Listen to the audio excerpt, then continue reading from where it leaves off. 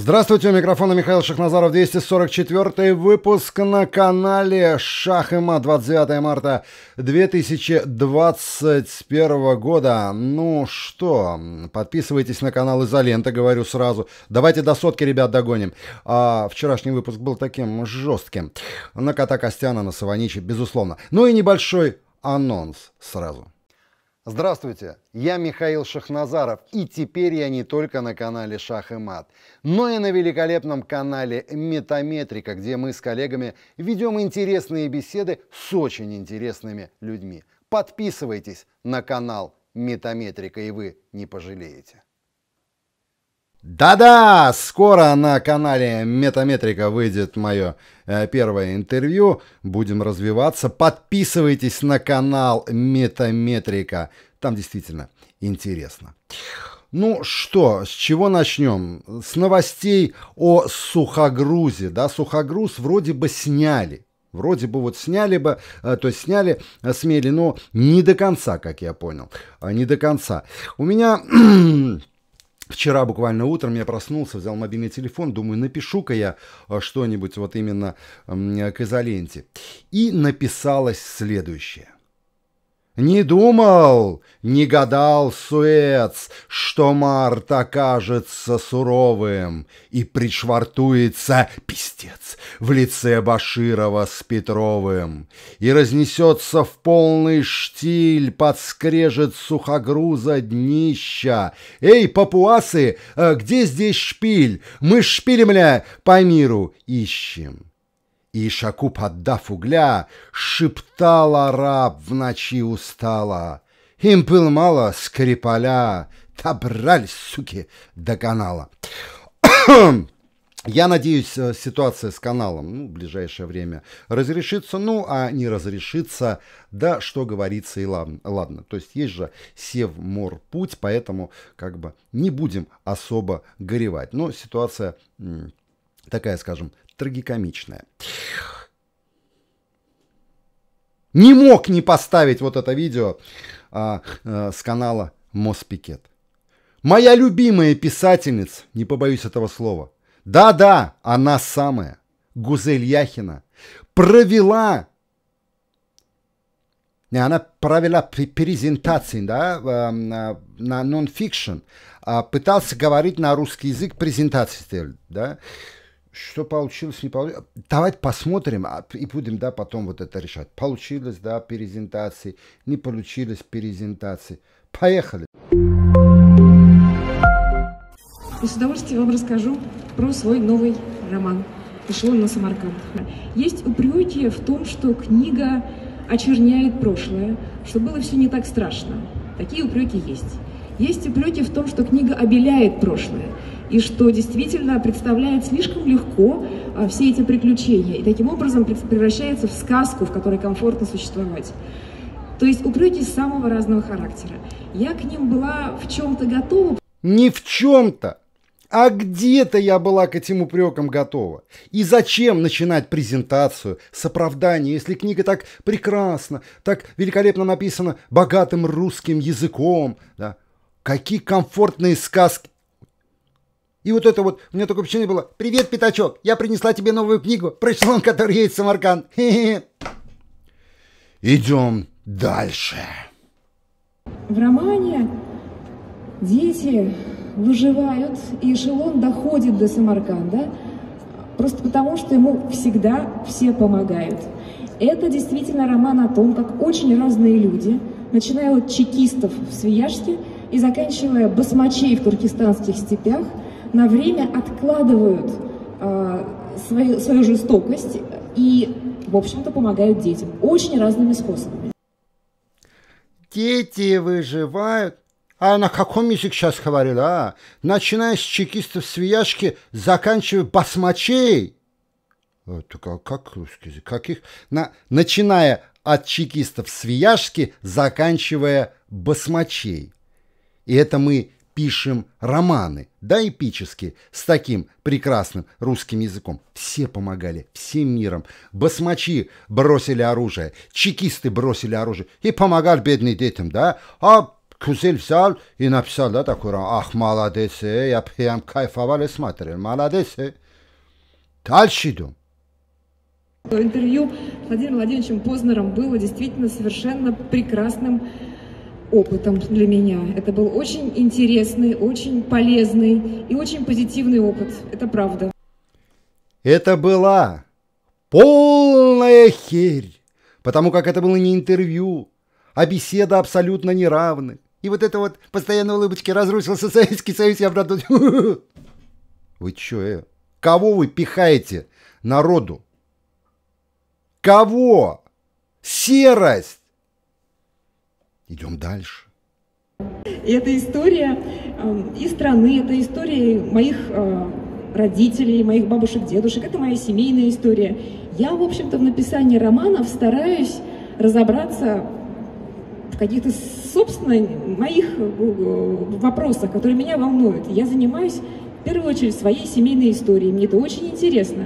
Поэтому, мне кажется, я просто занимаюсь этой историей, я занимаюсь ей так честно, как могу. Я, моя совесть чиста, потому что, в общем-то, я делаю все, как мне кажется, достаточно добросовестно. И это все. Я понимаю, что женщину некрасиво передать. Но вот это моя история, я занимаюсь, я, за... я... я занимаюсь, я занимаюсь. Ну, истории своей семьи, история вашей семьи никому хуй не интересно. Уважаемая, гуз... малоуважаемая Гузель, найдите себе смелость сказать, что вы не писательница, что вы не творец, что вы не способны ни на что, вы даже презентацию на русском языке провести не в состоянии. Ну, ну почему так? Почему вот эти Елены Шубины ведут нашу страну в пропасть через бескультурье, через нулевых авторов, таких как вы, Гузель Яхина? А теперь автограф-сессия.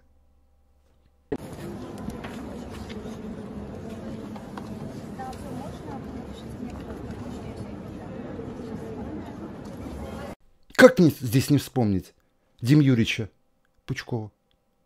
А? Ака Гоблин, который говорит, малолетние дебилы. Родители – Зачем вы ведете детей на презентацию книги Гузель Яхиной? Секта! Натуральная секта! Не давайте детям в руки эти книги. Не покупайте эту бездарщину, написанную серым, абсолютно малообразованным человеком, которую привела в редакцию Елены Шубиной Людмила Улицкая.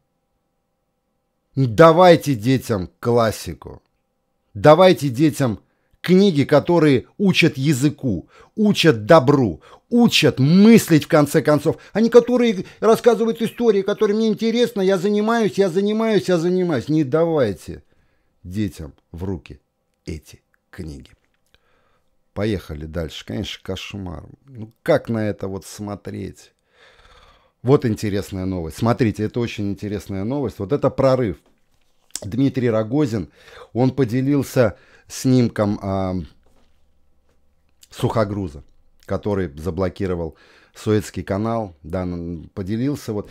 Ну, Илон Маск, говорят, он уже бесится. Вот он уже вне себя просто от злости. Видите, Дмитрий Рогозин что пишет? Суперконтейнеровоз Given сел на, мыс, на мыль, мель в южной части Суэцкого канала. Снимок сделан спутником Канопус B орбитальной станции Роскосмос. Великолепное достижение. И тут же почему-то вот эти вот злопыхатели тут же начали говорить о том, что Дмитрия Рогозина хотят снять с поста главы Роскосмоса. О чем вы говорите? Такие снимки выкладываются, такие песни выкладывает Дмитрий Рогозин на сайт Роскосмоса. Правда, через час удаляет. Но все равно, какой смелости человек. Ждем, когда запоет Илон Маск. Я сразу скажу, я не фанат Илона Маска, но тем не менее, как-то разница э, есть между Рогозиным и Илон Маском. Но мне бы, честно говоря, хотелось, чтобы Роскосмосом руководил а, вот другой человек. Я хочу гордиться нашим космосом. Правда, вот просто с гордостью говорить о, наших достижениях в космосе. Очень хочу, потому что пацаном я гордился этими достижениями. Правда. Да, ну еще сказали, что... А, Роскосмос ответил на слухи о скорой отставке Рогозина. Они сказали, нет времени на досужие слухи и выдумки. Понятно, короче, не поняли мне? Вам в пресс-службе сказали. Нет времени Песни писать надо. И снимки сухогрузов фотографировать. Потом вообще начали такие слухи распространять, что типа он от партии Родина в Думу пойдет. За Родину пойдет. Сейчас за Роскосмос, а потом за Родину пойдет. Да. Говорили мы о том, а, почему президент России отказался от вакцинации. Вот что сказал Путин. Ну мы разве с вами должны обезьянить, что ли? Обязательно делать, как кто-то что-то делает на камеру? Ну, наверное, нет. Я с ним абсолютно согласен. Экс-президент Литвы Даля Грибускайте кололась AstraZeneca. Да, помните? На камеру. Только там шприц был с колпачком почему-то. Наверное, колпачок такой, знаете, э, дезинфицирующий, может, не знаю. Поэтому не президентское это дело на камеры прививаться. Нужно верить президенту на слово. А вот, ай, какой молодец, Ара. Вот это вот раз вакцину вспомнили, да, надо, значит, Пашинян, да, вспомните его вот это комарилья, мамарилья, да. Он сказал, Пашинян, что уйдет в отставку. Сказал, да, в апрель месяце пойду в отставку. Ну, он что хочет сделать? Сергей Карнаухов абсолютно правильно написал свой блог. Он говорит, он уйдет в отставку, его партия выиграет на выборах, и все, Армении больше не будет. Да, как, да, по-другому. Ну, если, конечно, процесс не пойдет какой-то в другую сторону. Так они знают, что это. Армения закупили вакцины AstraZeneca. Ай, молодец. Ай, молодец. Очередной раз к России жопы, да, повернул. Надо было турецкий, да, тут турка нет вакцин никакой, или азербайджанский вакцин надо было купить. А что не купили? Сказали бы, да, вот сказали бы, турки изобрели вакцину, которую мы вот купили, просто весь мир и не знает еще, да. Позорники. Позорники. Убогие. 24 тысячи доз купили. Ведомство отметило, что получение препарата прошло в рамках механизма COVAX. Какого механизма? А у России вы не могли? Гинзбург заявил, что весь мир готов обеспечить вакцины в скором времени. У России вы не хотели спутник виза купить? А, русские вакцины нам не надо, да? Нам надо шведско-английский какой-то. Или турецко-азербайджанский нам вакцины. Как... Просто нет слов. Просто нет слов. Что, что там еще этот а, дурачок Завель? А, молодец какой.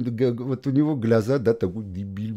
Он говорил, значит, медь это является нефть Армении, ее экспорт запретить нельзя. А что будешь, медный ложка делать? Или себе шлем медный на башка? Или микросхему себе медный в голову свою или в жопу это вместить? Многие говорят, что медь это не в 21 веке. Очевидно, что цены на медь будут очень высокими в 21 век, так как она является главным компонентом при производстве двигателей для электромобилей. Тесла хочешь поставить, нам Тесла там стоять не будет, а? Сука. ну чё, Малахова давно не вспоминали? Недавно не вспоминали Малахова. Кровь из ушей!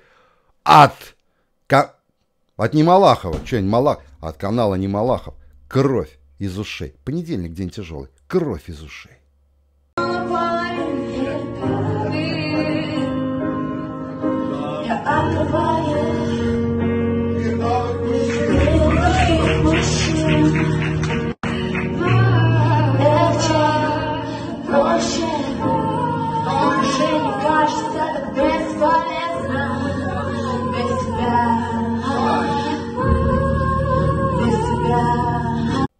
Знаете, в Гуантанамо, в Гуантанамо пленных пытали музыкой Slayer, Мегадев, Металлика, Iron Maiden.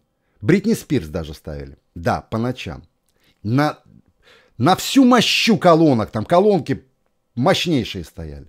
Так вот, это были акты гуманизма. Штатники не знали о существовании Оленьки Бузовой. Так бы они, так бы вот Любой террорюга бы рассказал все.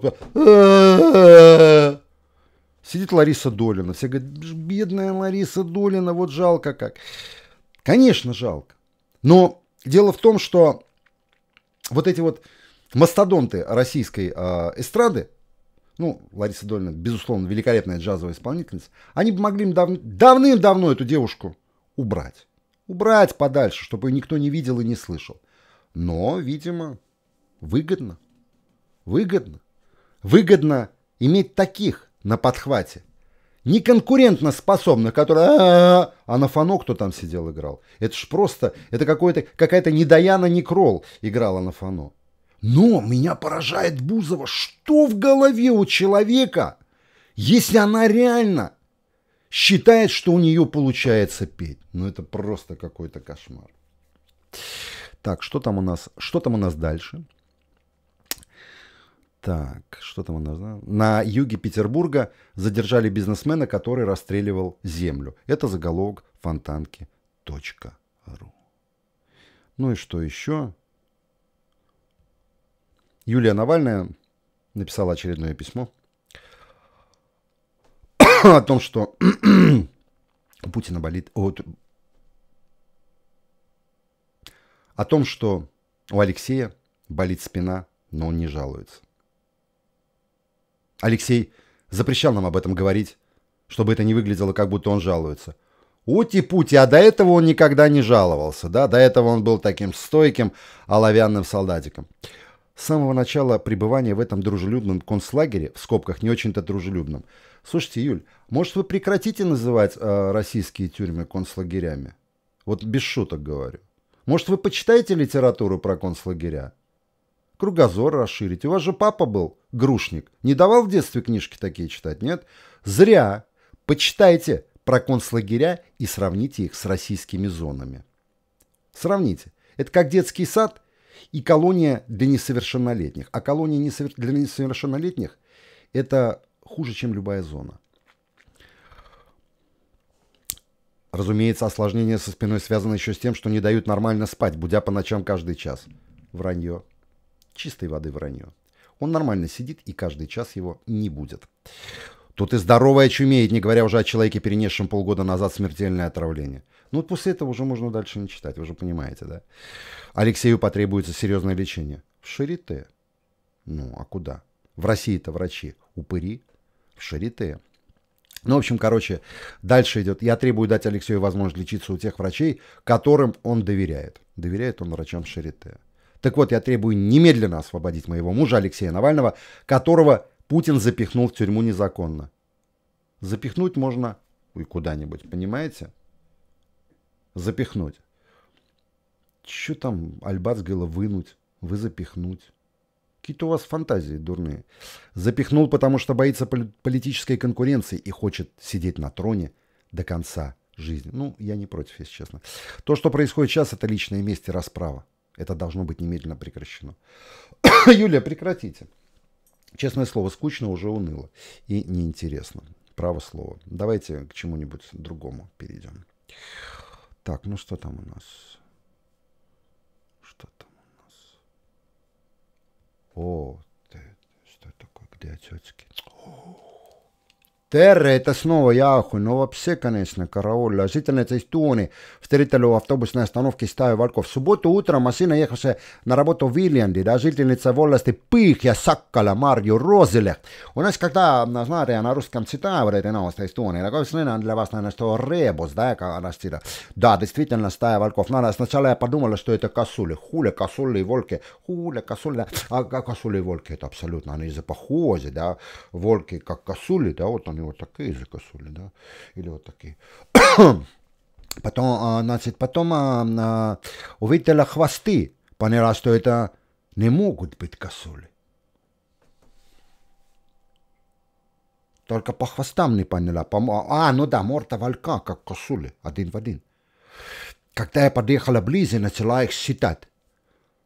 И заснула. Один волк, два волк, три волк, четыре волк, пять волк, шесть волк, семь волк. Ne, niin se snuula. Uh, ja sitten tällä semerich. Folke se, uh, kas no ka семеро волков, да, это новая эстонская сказка. Я насчитал семерых, но я не знаю, может быть, их было больше, надо было выйти посмотреть, сколько сидели. Ну, сказали, спросили бы, вас семь, или может девять, а может двенадцать, да, сколько вам? Надо было поспрашивать. Я живу в деревне Кью, Хорошее название деревни Кью. Деревню Кью вертели она... Не, не, не вертель, все нормально там. На... Я живу в деревне Кью, ехала со стороны Выхма на работу в Вильянде. Опять пошел ребусный рассказ. А перед автобусной остановкой Килле кровейная дорога поворачивает направо и остановились. Это в мире животных по-эстонски я сейчас рассказываю, да.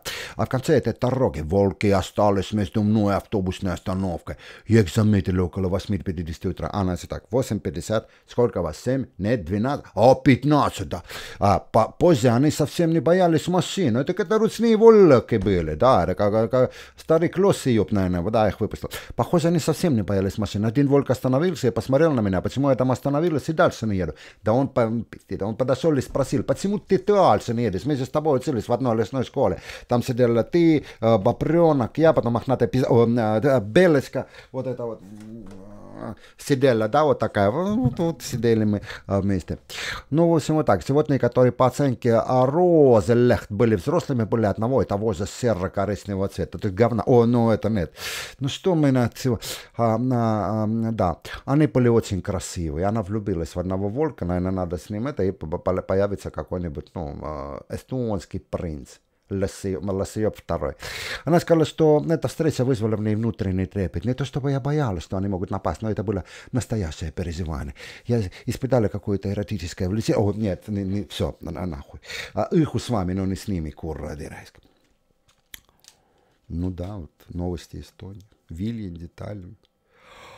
А, подписывайтесь на метаметрику, на изоленту, на Саваничи на Мыркуль, на Гаспарян, да на все, и на шах и мат. Ставьте лайки, оставляйте комментарии. Спасибо за внимание. До скорых встреч.